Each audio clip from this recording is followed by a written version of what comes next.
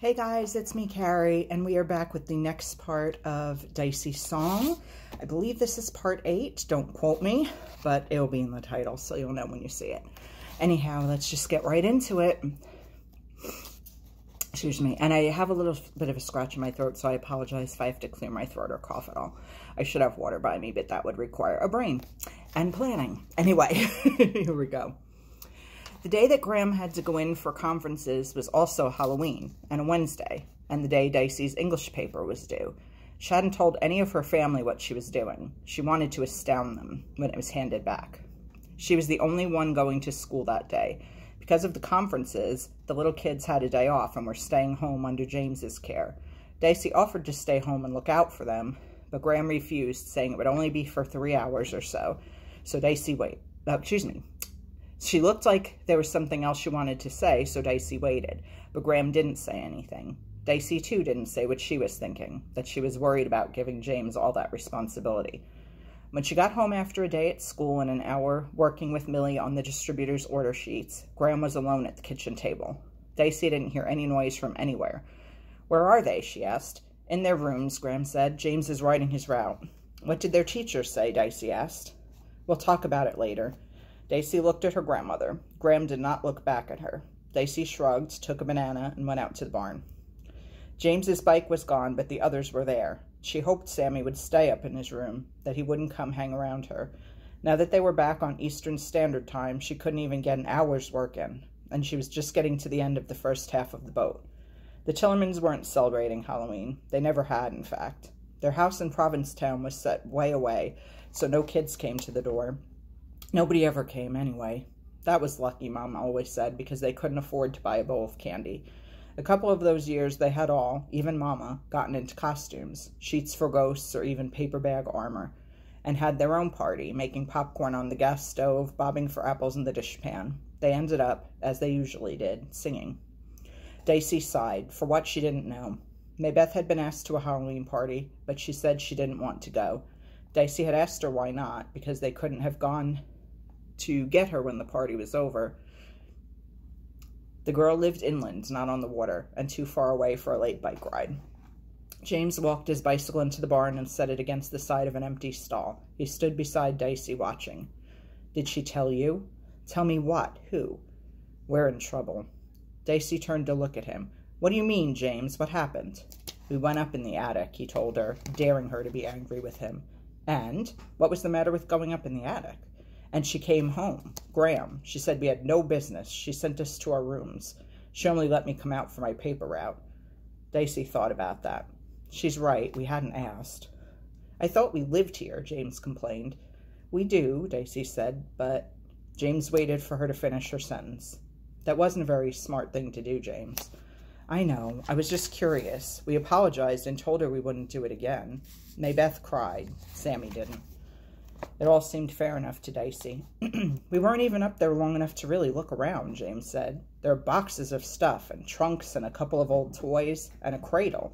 Do you ever wonder, Dicey, why she doesn't have any pictures of her children? Dicey shook her head. And she doesn't talk about anything before, James went on. And we know where Mama is, and that Bullet is dead. But there was a third name, remember? Don't you wonder? Nope, Dicey said. I do, James finished unnecessarily. I wonder about Mama, what she was like then. I promised we wouldn't go up there again, but I wish I hadn't. I bet there's an album up there. Mama never had one, Dicey argued. Graham could have afforded it, James argued back. It was a stupid argument, and Dicey didn't continue with it. Did you get your report on the pilgrims back? He kept them to show the parents, but he said I got an A. The kids thought it was super. They said so. James smiled at the memory. Dicey envied him. But it was getting too dark to work anymore, and her bare legs were chilly, and she was going to have to go inside and see if she could straighten out things between Gram and the little kids. It turned out that Gram didn't think anything needed straightening out. She looked around the dinner table at the three subdued faces and the wary one. I believe in closing the book on things, she announced.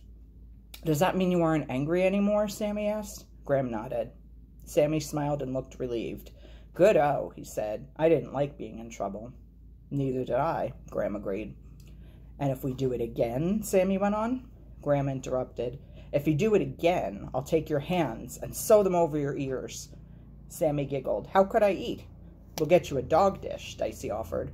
We'll put it on the floor and your food will be all mushed together so that you can get it out with your tongue. Ugh, Sammy said happily. What about the conferences? James asked. Maybeth looked down at her plate. Gram put down her fork and waited until they were all, even Maybeth, looking at her. About the conferences, she said. I want to wait to talk about them until I've talked to Dicey. Dicey looked up, surprised. What was wrong now? When? Tomorrow? James insisted. Gram shook her head. I have a plan. This Saturday, Dicey and I are going to take a day away. What about me? asked Sammy. You and Maybeth and James are going to stay home. I called Mr. Lingerle to give him our number. The black telephone had been sitting on the living room desk for two days by then. Nobody had used it to call them, although the little kids had all dialed the weather and the time. And I asked him if he would come out to take care of you. The three faces went down to the three plates again. We're sorry, Gram, Maybeth said softly. I know you are, and I know you won't do it again, but... She hesitated, then went on. There was a lesson for me in this. I'd forgotten that when you leave children alone, they have a natural tendency to get in trouble. Did your children do that? James asked. I also spoke to Millie, who said you could take the morning off, Gram said to Dicey. But, Dicey said. No buts, girl, Gram said. Besides, it won't be much fun. We're going shopping. I don't know if you've noticed the cold coming on, but I have. While we've got the money from this welfare check, there are things you have to have, things I can't make myself. So Dicey and I will have a day off, after which we will talk about the conferences. were they bad, Maybeth asked. There were good things and bad things, Gram acknowledged, but there was nothing that made me regret you living here with me. The children exchanged pleased glances, and Sammy's face, Dicey noticed, was flushed with pleasure. I was proud to go in and say I'm Sammy Tillerman's grandmother, or Maybeth's, or James's. Dicey bit on her lower lip. What Gram would say about Dicey's what okay, sorry. What Gram would say about Dicey's home ec grade, she was almost sorry she hadn't tried harder in the class, if it mattered to Gram. Is that all right with you, Dicey? Gram asked. Sure, if you want to, Dicey said. We'll take the bus up to Salisbury, where there's a mall, Gram said. I like bus rides, Gram, Sammy volunteered. Well, I don't, Gram said. Apparently, Dicey thought from her seat by the window that Saturday morning, Gram meant exactly what she said. Gram sat stiff and straight beside Dicey. She was wearing her blue suit and a white blouse tucked in. She carried a purse and had put on her loafers with stockings. Gram wasn't planning to enjoy herself. Dicey wore her shorts, as always. She thought about talking to her grandmother, but shrugged and looked out the window instead because Dicey did like buses. She liked any means of transportation. she liked going places. They rode up a highway past marshlands and farmlands. A, brisk wind blew at the grasses and trees. For the first time, Dicey felt like it really was fall. The sky hung low and gray over fields. She could see smoke curling up out of chimneys in some of the houses they passed. It was one of those first fall days that look colder than they really are. But it really was cold. When they had stood waiting at the bus station, her legs got goosebumps from the wind. Mr. Lingerle, Lingerle drove them into town, and he said he'd come pick them up, too. Gram didn't want to take the ride, but he pointed out how large the waves would be under this wind, and if they bought anything, it would be soaked before they got home again. He said he liked to help. Gram's chin went up when he said that because she did not like to be helped. But he had insisted and insisted, saying that Saturday was usually a pretty long, lonely day for him, saying that he was going to try riding on Sammy's bike. Sammy bit his lip to keep from saying something about that, saying finally that he liked being welcome at their house and he was only offering what family friends offered. So Gram gave in. The bus entered the limits of the scraggly city. Dicey studied the shopping centers and the low office buildings, each surrounded by its own parking lot. Cars and trucks crowded the road. For a few minutes, Dicey found this exciting, all the people, all their different lives and faces, then the grayness, the papers blowing on sidewalks, the sandy-colored sameness of the buildings diminished that excitement. Beside her, Gram stirred. Do you know where we're going? Dicey asked. Yes, Gram answered. The mall had an arched gateway leading to acres of parking. Lots. the bus stopped before an entrance to the long building. Dicey and Gram climbed down the steps and went in. Gram went straight to a list of stores in the mall and began reading down it. Dicey planned to enjoy herself if she could. She listened to the voices of the crowds of Saturday shoppers. She stared at families and couples, at gangs of girls and boys. Some of the people were hurrying on as if they had a lot to do and not much time. Others were meandering about, stopping at store windows as if they had a whole day to kill. Gram joined Dicey. When I was a girl, she said, looking about her, Crisfield was the big town. The people from Salisbury came down to Crisfield. She took a breath and her chin went up. Let's get going, girl. We've got a lot to do. I thought we were going to talk, Dicey said. That too, Gram said, stepping briskly out. Gram took Dicey first to a five and ten. They stood in front of a table covered with wool, while Gram touched the skeins of yarn and made hmm sounds. At last she turned to Dicey. You like any of these? Dicey studied the unnaturally bright colors, greens and reds and yellows. She tried to find one that wasn't as bad as the rest. No, she said. Neither do I. Gram marched out and on down the center walkway. When she found a little store with its windows crammed with pillows on which kittens had been embroidered, she entered. At the back of this store, there was a whole wall of wools. Gram started pulling down colors. Dicey looked around. There were a few women in the store, looking at instruction books or studying kits. The saleslady sat on a tall stool behind the counter, her hands busy with thread and canvas. she looked more like one of the summer residents of Provincetown than a saleslady in a mall, Dicey thought. She wore makeup on her eyes, lips, and skin. Her hair had every strand in a particular place. The woman looked up and caught Dicey's eye. Can I help you? she asked. Dicey shook her head and turned her attention back to Gram. Gram had pulled down a dozen colors. She had spread them out on the table before her. Every now and then she would touch one and move it around to sit by itself. What are you doing? Dicey asked. Sweaters, Gram answered. Is there a color you like? You want me to make us sweaters? It's either that or buy them, Gram answered grimly. I didn't know you could knit. Gram shrugged. She put her hand on a yellow the color of daffodils. That looks like Maybeth to me and a good blue for Sammy. But brown for James, don't you think? Isn't that an awful lot of work? Come winter, I've got the time. What about you? What do you like? Dicey liked the brown, but Gram pulled out a kind of greeny bluey skein flecked with white. Heather, she said. Dicey liked that all right, too, and she liked it more the more she looked at it. Feel it, Gram instructed. Dicey obeyed, and the wool was thick and soft under her fingers. Heather's the one I like for you, Gram said. What about you? Dicey asked. I've got plenty. I don't have to go out in public, Gram said. Dicey, her mind on sweaters, thought that Gram should have one in a dusty rose or maybe in black to set off the snap in her eyes. But Dicey couldn't knit. Gram paid. Dicey hefted the awkward bag of wool. Did your mama teach you how to knit? Gram asked Dicey. I can't do any of that stuff, Dicey mumbled. Oh well, Gram said. They walked on into a two-story Sears and Roebuck that once that occupied one end of the mall. There, Gram wound her way to the children's department. She picked out eight pairs of blue jeans, and they went to get in line by the cash register. That's thank you, Gram, Dicey said, because their grandmother was buying them clothes. Children can't wear shorts all year round, Gram answered. Maybeth's teacher is worried about her. She's not progressing, not to speak of. Mrs. Jackson says the school system has home tutors who are trained teachers and know the kind of work the class is doing. She says we should try to get one. She says she doesn't think it will help, but she wants to try everything because Maybeth is such a sweet child. She says Maybeth is failing. She says Maybeth gets along beautifully with her classmates and is very mature. Gram stopped as suddenly as she had begun. Dicey felt as if Gram had been hitting at her. Punch, punch, punch. Millie can't read, she announced, following her own thoughts. Not much, not like she should. She told you that? She'd never admit it to me. We were girls in school together. I know, Dicey said. Maybeth's not like Millie, Gram said. How had Gram known that was a question in Dicey's mind? Are you sure? Sure, Gram told Dicey, but... At that moment, their turn to pay came, and Gram just said, We'll talk about it over lunch. Think about it, meanwhile. They had to go to another department for long sleeved shirts for the little kids. Dicey already had all the made over shirts she needed. Gram made quick selections plain colors for Maybeth and striped for the boys. They got into another line.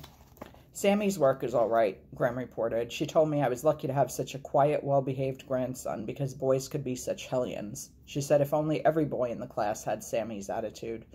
Well, Dicey was surprised. She was glad that that was all right. He hasn't always been that way, she told Gram, relieved. He still isn't, Gram said, then snapped her mouth shut. Dicey felt her shoulders sag. It wasn't because they were tired or she was tired. The bags they got were big, but not heavy. She thought she had a good idea of what Gram was thinking. Sometimes she almost wished she didn't have any brothers and sisters. How about James? Was James his teacher pleased with him? Gram had her purse open to pay, and she put bills into the sales clerk's hand before she answered. Dicey almost told Gram not to bother saying, uh, not to bother saying unless it was something good. Oh, yes. He says what we all, including James, know that he's unusually intelligent. He says James's work was better at the beginning of the year, but the other kids caught up with him pretty quickly. He especially mentioned James's report. He showed it to me. James got an A, Dicey said. It wasn't the same report he showed us, Gram said. Dicey took the bag, jammed it into the bigger one that held the jeans, and did not answer. Back in the center of the mall, Gram looked about her. Lunch, she said. She led Dicey back along the length of the building to the other end, where there stood a two-story department store. There was a restaurant too, right behind the right by the entrance, a real restaurant where there was a special waitress who asked you how many you were and led you to a table.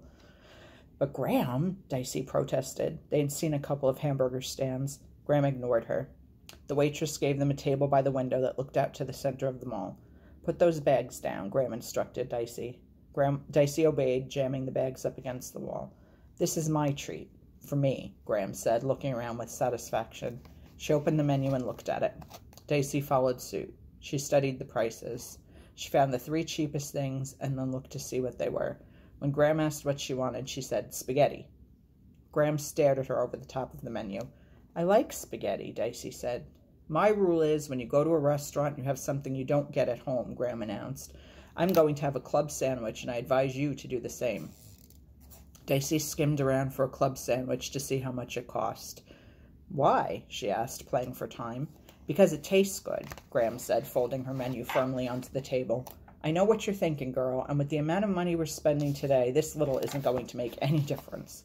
Then she smiled quickly. Besides, I've handed you some problems you'll need food energy to work on. Okay, Dicey said. I hope I like it. If you don't, I'll eat it, Gram, Gram said. She ordered them two club sandwiches on white toast with extra mayonnaise. For herself, she ordered a pot of tea. Dicey wanted a soda.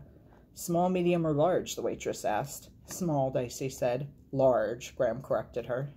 When their drinks were before them, Gram looked at Dicey and said, What do you think? Dicey didn't know what she was talking about. About your family, girl. Snap out of it. You've had weeks and weeks without worrying, but the vacation is over now. You've got to help out. But, Dicey thought, I am helping out. I have a job, and I haven't exactly not worried. I don't know, she said. Gram snorted impatiently, so Dicey tried. If the teacher says Maybeth can get a real tutor for nothing, that's not bad, is it? she asked. Gram waited. And Sammy's all right, and James is doing well, so what's the problem? Gram waited. Dicey put the straw into her mouth and sipped at her soda. She looked out the window. Walking away from them down the mall were a boy and a girl. They had their arms around one another. The boy's arm was over the girl's shoulder, and his hand was tucked into the rear pocket of her jeans. Her arm went across his back and into the pocket of his jeans. They leaned their heads towards one another, talking as if there was nothing important in the world except what they had to say right then. When I was a girl, Gram said, only engaged couples could spend an afternoon alone together, and even then the most they would do in public was hold hands. People say things were easier then, and maybe they were. Dicey followed the couple with her eyes. She didn't know what Gram was, why Gram was talking like this, but she was interested in what Gram would say about what it was like when she was young. Things were surely simpler, but I guess we made them hard because I don't remember anything simple or easy about it. I'd be inclined to think things are easier now, wouldn't you?